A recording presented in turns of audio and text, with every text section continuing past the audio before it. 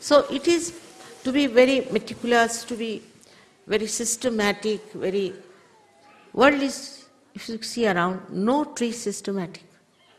It is unsystematically systematic. Some leaves are this side, some are that side, some branches are on that side. There's no system because then you become a military. If you form a system, so in Sahaja Yoga there is no system. We are beyond time, we are beyond all kinds of systems. We have no system. All our system is what is the union within ourselves. Like these two hands, they have no system built in, nothing, but they move. Especially Italy, if you want, they, both the hands move like that all the time in Italy.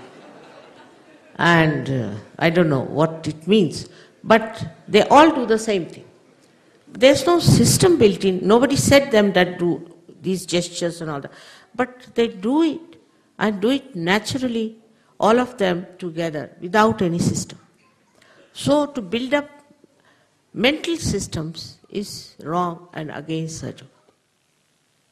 Some people have written to me, Mother, we want to translate your transcription, do this, do that, and plans. I said, forget it, forget. Because if you start planning, you see, you will definitely, definitely fall into the trap of systems. You'll have to follow systems. This system is good, that system is good. Why not have this way? And because I don't, I don't say that it's wrong, because you have been used to systems. Especially in the West, people are over systematic.